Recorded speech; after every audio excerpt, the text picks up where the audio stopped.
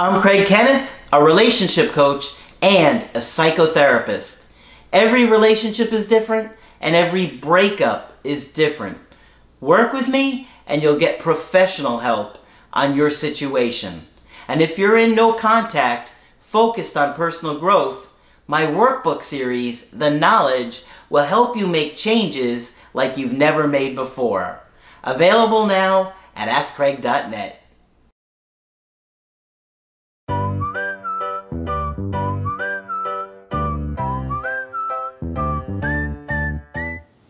Hi there, I'm Coach Craig Kenneth. And I'm Coach Victoria. And today we're going to be talking about what makes an ex come back. So, this is a big topic, obviously. When you're going through a breakup, one of the things that you're constantly evaluating and thinking about is what can I do to have another chance with this person? Mm-hmm. What can I do to get them back? How can I improve my chances in the situation? And when you're thinking about like the situation, obviously you're beating yourself up and mm-hmm. you're thinking about everything that you did wrong in the relationship. And since the breakup, you're obviously seeing things, oh my gosh, I wish I hadn't said that or done that. Mm-hmm, exactly. And you're constantly, you know, beating yourself up over what happened. And that's totally understand uh, understandable. I did all those things and you're just constantly sitting there thinking like if i did all these awful things why would they give me another chance right, right? so what makes an ex come back? What is it that happens that can actually turn a situation around? Obviously every situation is different but there are certain things that i think work across the board and we're going to be mm-hmm. talking about those today. So for me the biggest thing is love and attachment. And I don't think there's anything that's more powerful than love and attachment. Mm-hmm. And when you really care about somebody, they don't just disappear and you're unconscious. They don't just stop thinking about you, right? Right. When somebody has a big impact on you and changes you, it's going to be very hard to get over that person immediately. So, right now, if you're heartbroken thinking, oh, my ex has probably forgotten about me, that's not the case. With attachment, and with how that connection works, it doesn't just go away immediately. Yeah. They have a big big impact on you. Mm-hmm. And you have a big impact on them. And things can change, the situation can change, but you have to leave them alone. Exactly. People really do need that space. And right now when you're grieving and your your grief process is very real, very visceral, you might be feeling physical symptoms of that grief. It can be hard to imagine that your ex is also going to go through that process of grief. It's just not going to be at the same timeline as you are going through it right now. So you really have to give time for that process, that grief process, to start with your ex. And in giving them that time, you want to make sure that you don't interrupt their grief process. So I know Margaret has talked about this before on the channel, but when you do reach out and break no contact and contact your ex first before they contact you, you're interrupting their processing of the breakup. So essentially, they have to start all over, and you don't want that if you are wanting your ex to miss you again. Yeah, because in that space, it allows things to happen, right? Mm-hmm. Like allows them to grieve you, allows to feel the consequences of the breakup. Exactly. If people don't feel the consequences of the breakup, then it's like, well, I can do whatever I want and mm-hmm. I can still have that person. No. Right. They need to feel the consequences of that. And, you know, oftentimes when they see that you're leaving them alone and they can process and start to miss you, they can realize that they were part of the problems as well. Right. Right? And that things weren't maybe as bad as they felt. Because a lot of times a problem just feels worse than what it really is. Mm-hmm. And by having some distance from it, they can see that those things that got on their nerves about you or that were causing issues, it really wasn't worth losing the relationship over. We are hardwired to want connections. Mm-hmm. It's how we feel safe. It's how we feel alive. And human beings are very social creatures. And we're not meant to be isolated like animals, like turtles that live in their shell. You know, we're meant to be around other people. And so we don't feel safe when we're out of that relationship and they don't feel safe. Neither people feel really safe or good mm-hmm. about that. And they start to, in time, feel that anxiety, feel that separation anxiety, which is so critical for your ex to experience. Mm-hmm. But if you keep reaching out and they know I could still get this person back, I can still have them, and they don't feel that consequence, then it's going to decrease their desire to get back with you. They're going to not feel like, you know, there's any real consequence for what they've done here mm-hmm. and just kind of kind of go along with what they've been wanting to do. Exactly. They can't grieve you if they haven't lost you. So you want them to feel that loss. Another thing that this space causes is also mystery, mm-hmm. and that mystery is enticing. They will wonder about you. What is he doing? What is she doing? Who is she with? You want them to start to wonder and be curious about you. And if you're constantly posting on social media about the pain and the hurt that you're going through, mm-hmm. which I can totally understand why you would do that, they're going to see that on their feed and they're not going to be wondering about you. They're going to know exactly how you're feeling. So and that you're not over them. Exactly. And every time they see you on their feed, they're not going to get positive feelings mm-hmm. from that. So you want to be conscious of how you're putting yourself out there and how you're appearing to your ex and also creating that space. Mm-hmm. Yeah, ultimately you want them to realize that they have to live with their decision. Mm-hmm.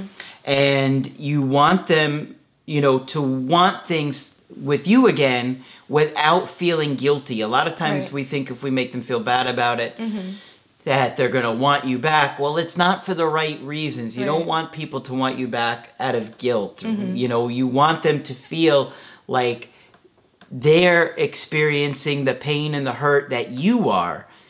But when you don't give them that space, they don't feel like that, right? Exactly. So that's a big one. Um, now, Another big thing that makes somebody want to come back and repair things with you is that they actually see change. This is a big one. Mm-hmm. Your ex knows that you have issues. Mm-hmm. They've dated you for some time, they've gotten to know you. They probably know things about you that you don't even know about yourself. Right. Right? I'm sure that plenty of my girlfriends could tell you things that they would expect from me or know that I would mm-hmm. do that I didn't even know I was doing, mm-hmm. right? We all do things like that. Yep. And so they know you've got some stuff that you got to work through. And you want to think about the complaints that they had in the relationship and how you can compare it to other relationships as well that you've had and see if you're seeing patterns and right. fix those things. Mm-hmm. You don't want to ignore what actually happened in the relationship chances are that your ex had some reason for breaking up with you, some types of complaints in the relationship, mm-hmm. and you don't want to ignore those. You want to show your ex that you have considered that. And that's going to be seen as respectful and validating their experience throughout the relationship, mm-hmm. which is going to be essential for getting them back and for having them desire you back. Yeah. You want to show them that you know, now this is now, I don't want you to reach out to do this. Mm-hmm. I'm saying when they've reached out and you get a chance in front of them again, right. you want to show them that you've worked on those issues, mm-hmm. you've made improvements, and that you're not going to let those issues continue to hurt the relationship and the connection again. And, you know, by doing that, they can then see that you have taken everything that they said seriously. Mm-hmm that you do care about their feedback or their complaints and that you took them to heart. Right. You want to focus on being their best option. So you already have this foundational connection, and you want to show them that if they do re enter a relationship with you, mm-hmm. it's going to be better than the first one. Mm-hmm. That's the goal here. So it's also not a blame game. This is not about saying, you know, I take all the blame for everything that happened in the relationship or it's all your fault. This is about taking responsibility, which doesn't put others down, but it inspires improvement. It says, okay, where can we do things better? And that's where your focus should be. Yeah, because a lot of times people will get back together and, you know, they kind of fall right back into those mm-hmm. old patterns. And if that happens, they're just going to be so frustrated and be like, you see, I knew this wasn't going to work. I gave this another chance. We're doing the same things over and over again. And, of, uh, uh, you know, you've heard them say that insanity is doing the same thing over and over again. And if you get back together and that's what's happening, they're just going to be so much more likely to say, you see, I knew it was going to be more of the same things that I couldn't deal with or live with. Right. And many relationship issues are rooted in childhood attachment issues. Mm-hmm. So we have hundreds of videos on this channel, Craig and Margaret. They are a huge resource that you can learn from, trust me. Work through those issues. Think about your childhood, the mm-hmm. experiences that you've had. They're inevitably going to affect your relationships. So the more that you work on these things, and it's it's a very personal thing. It's going to differ from person to person. But the more you work on those, that's going to reflect on your new relationship, whether that be with your ex or somebody new. Yeah, you want to kind of, in this time, this period of no contact, reinvent yourself. Mm-hmm. And you're going to do that by looking at your family history, your attachment issues, what triggers you, give you skills in the relationships. And like Vicky said, we have almost a thousand videos covering many of these topics. Mm-hmm. So there's really no excuse for not doing the work. But what a lot of you do is you think that because right now it's hopeless, you you stop doing the work. You mm. stop w- learning the skills. But you want to have the attitude of I'm going to do this for myself. That's really the healthiest attitude Yeah. of doing the work for yourself.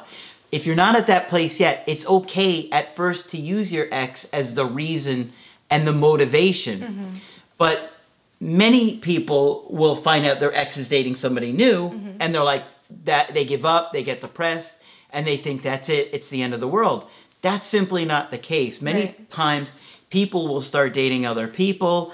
People need time to really miss you and to believe that things are going to change. And they also got to take a look at themselves mm-hmm. and realize that they were part of the problems too. Yep. That's a big deal. It's very important to reinvent yourself to have your ex feel a newfound attraction to you. So, this can include having hobbies, digging into your element, maybe things that you enjoyed even before the relationship. Career Yeah, is a big exactly. one. If they see that you or going back to school or something like that. Mm-hmm. And right now, if you're grieving, it can be really difficult to think about yourself going out there and doing something that you enjoy when you're feeling so much pain on the inside. But slowly and step by step, maybe even doing something small just to get started, something that you enjoy, painting a picture, it can be anything. Just getting the wheels moving is going to help you get to that place where you can show your ex I have not only changed by working on my issues, but I have a passion. I have, you know, excitement about life, and that's mm-hmm. going to be very inspiring to them and attractive to them. Ambition is Yes. big. Yeah. Ambition. So you want your ex to see a new side of you because chances are throughout the relationship and during the breakup they probably had this idea of I already know what to expect out of this person. Mm-hmm. You know, I've been in a relationship with this person for a while. You know, I can see what the trajectory of this relationship will look like if it continues. And it feels stale, and they don't want to continue that. He's just going to play video games every night. Mm-hmm. Yeah. So by reinventing yourself and really digging into your passion, you want to shatter this idea. You want to show them that that's not true, that Yeah. a different relationship with them is possible. So I actually have a story about this. Mm-hmm. And with my very first boyfriend, mm-hmm. we Who we call Lion-O. Yes, that's his I said- nickname. I said even I, I knew this guy from way back in the mm-hmm. day. Um, I, he looked like one of the Thundercats to me, so I said he looked like Lion-O. But we used to play music together because he's a mm-hmm. musician. And I remember during the times that we were dating, I took a lot of initiative to get us to even play like at a local farmers market. Mm-hmm. And you know, I remember taking a lot of initiative in the relationship. I even remember helping him sign up for community college mm-hmm. just because that drive wasn't there and I always felt like I was picking up, you know, his slack. Later down the road after we broke up, I'm seeing on social media that he's out playing at big venues, and I'm feeling extremely proud for him, but also attracted to him because it's like, where was this throughout the whole relationship? You know, it, he really showed me his potential mm-hmm. by doing that. And that was a big shock factor to me. So if you're able to do that with your ex and, you know, show them that not only do you have the potential, but you have the ability to make that potential a reality, that's going to leave an impression on them. Yeah, because you weren't feeling attracted to him until you saw that, right? Right, right. It really felt like I underestimated him. Yeah. I was like, wow, you know, I, I should have believed in him more. Yeah, exactly. That is a really big last point mm-hmm. that we wanted to get to is you want your ex to feel like they've underestimated mm-hmm. you, that they had these doubts and, and you also want them to be frustrated and, and kind of angry like yeah. i can't believe now mm-hmm. they're making all these changes and now they're doing all these things that i wanted them to do when we were together mm-hmm. that's a good thing right mm-hmm. and you want yeah. them to feel like they're missing out of the potential mm-hmm. that they saw in you that maybe you weren't really uh, pushing forward with in life, but now you're doing it, and now they're missing out on that. Exactly. Yeah. That's that is a really big thing. So when you focus on a well-rounded uh, kind of strategy mm-hmm. while you're in no contact, and many of you are just watching no contact videos, that's not going to help you. Mm. It's what you do with that time, mm-hmm. like the workbooks or the course or right. getting into therapy. Exactly. All of those things are going to help you to grow so your ex takes another look at you and you've truly changed. Mm-hmm. Like you've really done the work. You're not just saying you've changed. Oh, I, I've, you know, you've probably told them that you were going to change in the past and if you say it again, they're just going to be like, oh, yeah, that's great. Uh, you've changed. yeah, okay. Yeah. I've heard you say that 25 times. Mm-hmm. But when you really do it, they're going to be the ones saying it to you, you know? Yeah. Exactly. But you got to give them time and space mm-hmm. to, de- to do that, to grieve, to miss you, to feel that separation anxiety, to reevaluate their mistakes in the relationship, mm-hmm. to think about the things that they did wrong, to process all that stuff and to get the anxiety of losing you. But you can't keep pushing forward with them. You want to have faith in the process. Mm-hmm. It's incredibly scary and overwhelming and confusing, and we understand all that. But if you focus on the right things, it's going to pay off in the end. Either your ex is going to come back and they're going to see a new side of you, they're going to see a lot of things that are attractive. Right. Just like Vicky did here with Lion-O, mm-hmm. or you're gonna have the skills to have much healthier relationships in the future. Of course, if you want to get my help personally, you could go to my website, askcraig.net, sign up for the coaching option that works best for you. I do email coaching and I do Skype. And Coach Victoria will continue to train with us. I'll be here. And you'll see her in lots of videos. But that's it for this video. I'm Coach Craig Kenneth. I'm Coach Victoria. And we will talk with you soon.